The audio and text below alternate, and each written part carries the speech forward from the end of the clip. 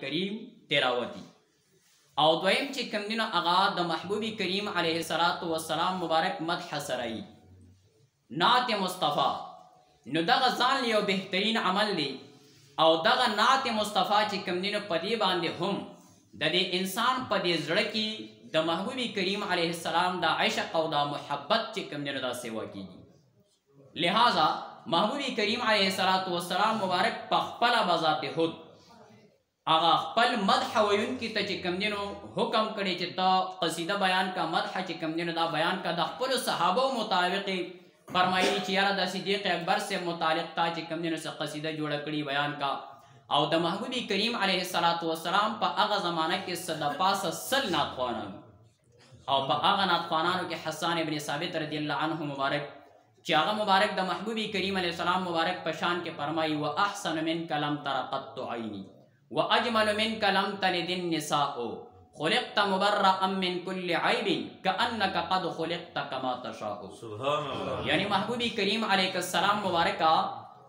ستا په شان بهترین او خیسته انسان چې کوم دینو مونږ نه دی لیدلی او نه تر اوسه پورې مور زیږولې او نه به یې وزیږئ او رب کریم داسې پیدا کړي محبوب کریم علیه السلام مبارکه لکه چې تاسو فرمایلی چې رب کریم ما داسې پیدا کړ او رحمان بابا علیه الرحمت الرحمه هغه په پښتو کې فرمایي وې خدای یې مه ګڼه بېشکه چې بنده دې نورې کل واړه صفات دې په رښتیا یعنی مطلب دا دی چې د رب کریم نه بعد چې کومه اوچته او مرتبه ده نو هغه د محبوب کریم علیه السلام ده او دا یاد ساتې عزتمندو دا علما چې کم ناست دي نو د دې علماو کار څه دي باید قرآن کریم دا آیت کریمه دې د محبوب کریم علیه السلام شان ذکر کوي د محبوب کریم علیه السلام مبارک په احادیث مبارکو کې دا حدیث دی د محبوب کریم علیه السلام شان ذکر کوي لیکن دا شعراو چې کوم دینه د هغوی هم دغه کار دی هغه په شعر کې وایي چې زما محبوب پیغمبر له الله تعالی دومره لوی مقام ورکړي دومره لوی عزت ورکړي لکه د حسان ابن ثابت رضی الله عنه مبارک متعلق فرمایي محمود کریم علیه السلام مبارک وته فرمای ته زما مدح کوا الله تعالی ستا جبرئیل علیه السلام معاون ګرځولی ځکه چې ته زما مدح کې کفار او مشرکین په اشعارو کې حج وکي هغوی پکې چې کوم دینو بېدبي کوي او ته زما شان په احادیث په دې اشعار باندې چې کوم دینو دا ثابته هغوی له په اشعارو جواب ورکې الله تعالی ستا دپاره جبرائیل علیه السلام معاون ګرځولی ستا امداد کوونکی ګرځولی نو عزتمند دویم کار چې کوم دینه هغه نعت خوانی ده محبوب کریم علیه السلام بذات هود حکم کړی چې ته چې کوم دینه دا بیان کا او حسان ابن ثابت صاحب ته چې کوم دینه خپل صادر په انعام کې ور کړی چې هغه مبارک د محبوب کریم علیه السلام مدح سرای کړی دا نو دویم عمل دغه دی او دام د محبوب کریم علیه السلام د زمانه نه چې کوم دینه دا ثابت شو او دریم چې کوم دینه عزتمند قال الله قال الرسول دی یعنې د الله تعالی د کلام حصه بیانول او د هغې متعلق تذکره کول د هغه آیت او د هغه قرآن کریم د حصې او یا د محبوب کریم علیه السلام احادیث بیانول هغه احادیثو کې چې د محبوب کریم علیه السلام کم صفات ذکر دي هغه صفات بیانول لکه محبوب کریم علیه السلام خپل صفات په خپله بیانوي یو ټیم کې مبارک تپوس کوي من انا زه څوک یم نو صحابه ورته وی انک رسول الله ته د الله تعالی رسولی مبارک فرمای انی محمد بشک از چې کوم دینو محمد محمد ابن عبد الله بن عبد المطلب بن هاشم خپل شجره چې کوم دینو بیان کړه بیا مبارک فرمای الله تعالی مخلوق پیدا کو هغه مخلوق الله تعالی په دوه حصو کې مشتمل کو عرب او عجم بیا په عربو کې قبایل وغیرہ غ ټول حدیث مبارک په دې ذکر کړي چې به عزت په بهترین مخلوق کې الله تعالی پیدا کړ یعنی خپل مدح او خپل صفت محبوبي کریم علی السلام په خپل باندې بیان کو نو که په دې کې دا کم تقاریر کیږي نو دا محبوبي کریم علی السلام خپل شان او خپل مقام په خپل بیان کړي مبارک فرمایي ما ته جبرائیل علیه السلام مبارک راغی او ما ته وی چې تا ته پته شته چې الله تعالی ستا شان څومره اوچت کړی محبوبه وای ما ورته وی چې نه وای رب کریم فرمایي چې اذا ذکرتا ذکرت معي چې کله زما ذکر کیږي نو محبوب کریم علیه السلام مبارک ستا ذکر به زما سره کیږي دومره لوی مقام الله تعالی ورکړي لیکن محبوب کریم علیه السلام هغه خپل مدح په خپل بیانې نو چې بیا دغه قال الله او قال الرسول بیان شي نو دا ځان له یو بهترین عمل دی او دا یاد ساتي عزتمندو دې کې دا یو عمل څلورم بل ذکر کوي خو دا اکثریت زموږ په دې علاقو نه کېږي او په کار د چې وشي بهترین عمل دی هغه څلورم عمل چې کوم دی نو څه دی د محفل په اختتام کې په ولاړه باندې صلات او سلام لوستل او بیا د هغه صلات او د سلام نه بعد چې کوم دینو د رب کریم په حضور کې دعاګانې وختل او بیا د هغې نه بعد کم لنګر چې د دې د پاره مقرر دی نو هغه لنګر تقسیمول او هغه راتلونکي او سامعینو لپاره هغه لنګر خوړل دا څلور پنځه کارونه په دې کې کېږي او دا ټول جایز دي، په دې کې یو هم ناروا نشته. د دغه لنګر متعلق چې کوم دی محبوب کریم علیه السلام فرمایي، افضل الصدقة ان تشبع کبدا جائعا، بهترینه صدقه دا ده چې یو سړی اوږې خېټه مړه کړي. نو په دې کې چې دا کوم کارونه کېږي نو هر یو کار باعث د اجر او د ثواب دی. اوس یو سړی وایي چې مثال په طور محفل میلاد وکړه خو خلق مه راغونډه وه، اجتماع مه جوړه وه نو دا به چا ته وایې؟ مقبره کې تا ته چې کوم دی نو څوک نه کېني. حجره کې تا ته څوک نه کینی جماعت کې تا ته څوک نه کینی نو ته به د محبوب کریم علیه السلام شان څنګه بیانې او دلته عزتمندو دا محافل چې کوم دي نو د دې دپاره د دې دا راغونډېدل کېږي چې په دې کې د اول نه تر د اخرې پورې خلق ناست دي نو دغه خلک د الله کلام هم واوري، دغه خلک د محبوب کریم علیه السلام مدح هم واوري او دغه خلک قال الله او قال الرسول هم واوري، خو حال دا دی عزتمندو مونږ او تاسو خو دا مسائل واومرو، علما دلائل پیش کړي هغه دلائل هم واورو، خو لیکن چې بهر یو سړی وي چې یاره دا میلاد پکې چا راوستی بس وي دا مولیان یې کوي نو تا چې کوم دلیل واورېدو خو هغه دلیل تا پیش نه کړ. پکار چه ته ورته ووایې چه بهیل ما خو د هغه مولا نه داسې اوریدلي وو، هغه مولا دا آیت پیش کړ په دلیل کې، دا حدیث یې پیش کړ په دلیل کې، دا حکم یې پیش کړ، نو هغه دلایل خو کم از کم چه ته پیش کړې کنه، نو دلته کې ناست دي واوري خو چاته ویلی نشي، نو دا یاد ساتې عزتمندو دا محفل میلاد چې کوم دی د دې ډیر فواید دي، یو پیدا دا ده چې د ایمان د بچاو سبب دی. دویمه پیدا دا ده چې د محبوب کریم علیه السلام د عشق او د محبت د زیادت سبب دی. بله پیدا دا ده چې که دې کې کوم انسان کېناسته نو رب کریم هغه انسان ته ټول ګناهونه معاف کوي. بله پیدا دا ده چې په دې علاقه باندې دا کور نه یادوي، دا دا سنګل دا دا حجره نه یادوي، په دې تمامه علاقه باندې الله تعالی عام عذاب نه راولي دا د دې مجلس خپل برکت دی او دا یاد ساتي عزتمندو خلق وي وي مخکې خلکو نه دی کړي نو شاه عبدالرحیم صاحب چې کوم دی د شاه ولی الله صاحب پلار دی د دیوبند د علماو نه دی لوی شخصیت دی دغه لوی شخصیت چې کوم دی نو د په خپل باندې دا محفل مناوه محفل میلاد به په خپل باندې کو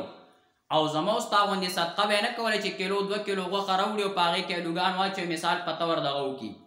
خو دا د وس او د استعداد خبره ده خو زه غب خبره دا کوم چی ګینی دسی دغه به نه کوو هغه به ګډ او چیلی اغستو هغه به یی ذبحه کوو هغه به یی په علماو خوړو هغه به یی په خلقو باندی چی کوم دی نو دا خوړو یو کال داسی راغی چی دی فقیر وو دغه ټیم په لاس کی چی کوم دی نو هیڅ شی نه چی مثال دی په داسی صدقه وکی دغه علما را جمع کی نو د دا توری چڼې واغستې او دی د ځان سره راوړي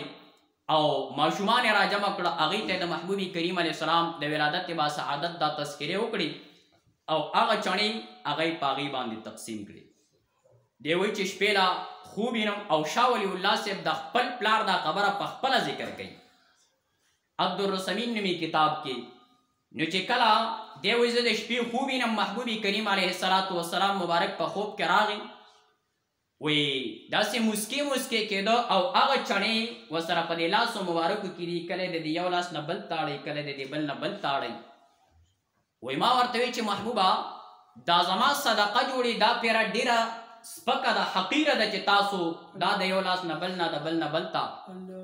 مبارک ورته فرمایي، نه، وې سخت کال ستا د صدقې غوندې بهترینه صدقه ماته چا نه ده رالیږلې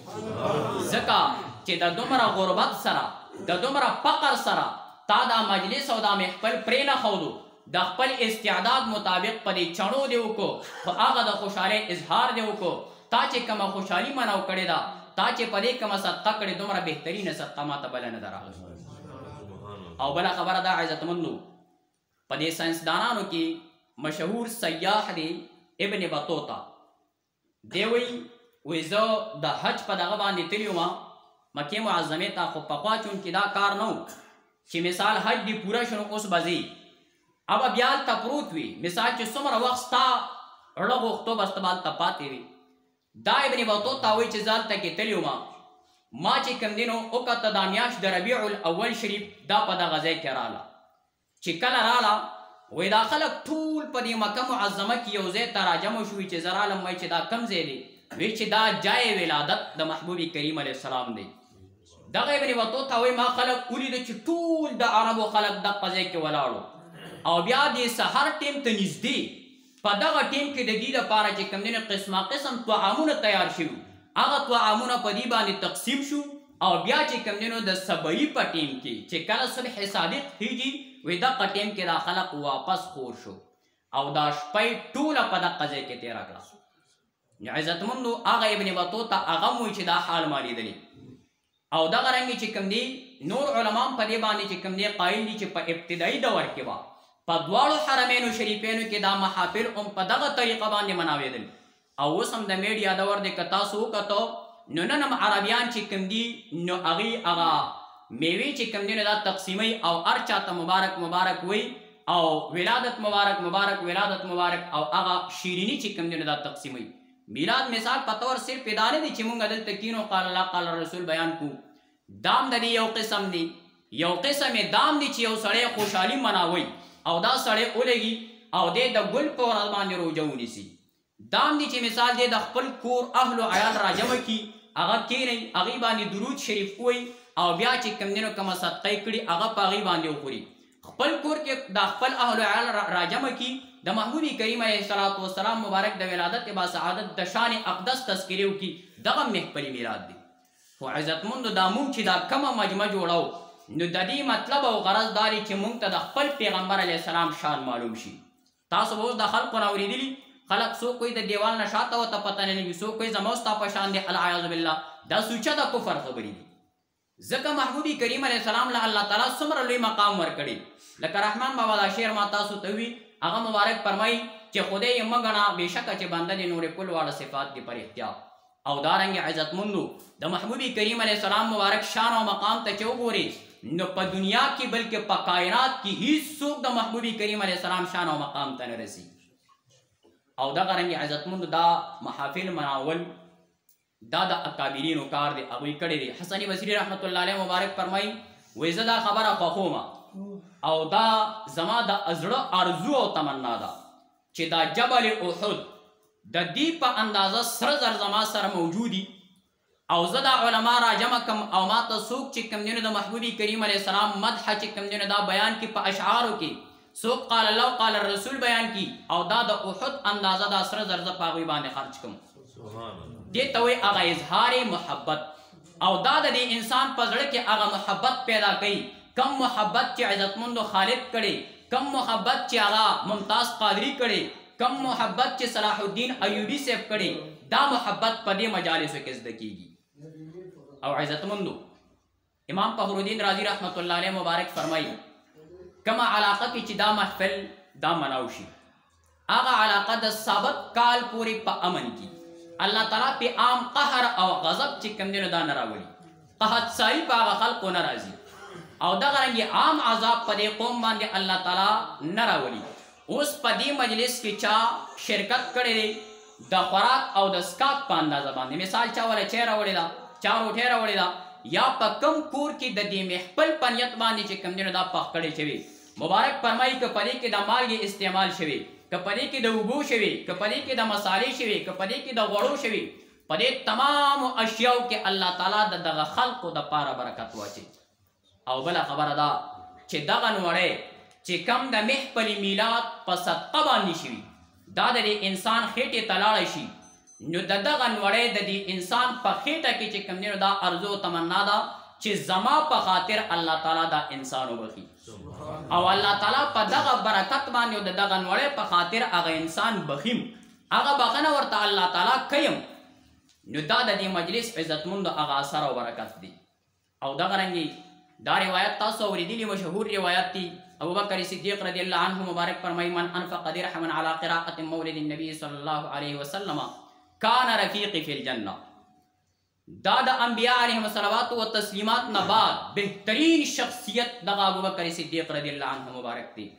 لیکن دې مبارک فرمایي که چېرې یو سړی مې خپل میرات کې یو درهم یوه روپۍ خرچ کړي وایي دا سړی به په جنت کې زما سره وي ابوبکر صدیق رضی الله عنه مبارک چې کم مقام لري کم عزت لري نو هغه په مشقتونو باندې هغه مقام حاصل کړي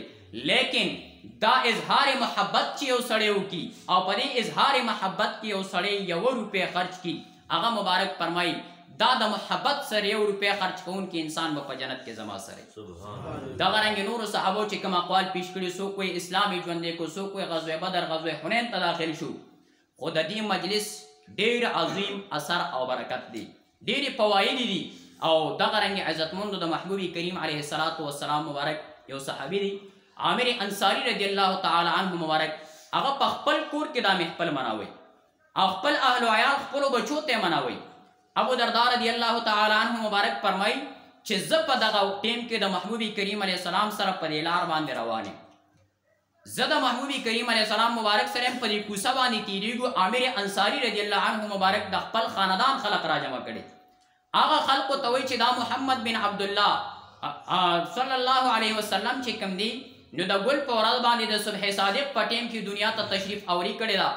او د هغې د خاندان د هغې د قبیلې د هغې تذکرې وسره کوي د ولادت با سعادت تذکرې وسره کوي نو دغه ابو دردار رضی الله عنه مبارک فرمایي وای ما د محبوب کریم علیه السلام مبارک نه واورېدل چه ددی انسان دپاره یی کوم بشارت بیان کړ